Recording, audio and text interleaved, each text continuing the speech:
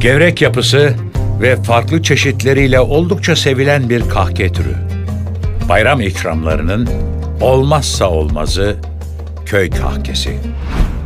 Gaziantep, Gastro City. Gaziantep, dünyanın lezzet başkenti.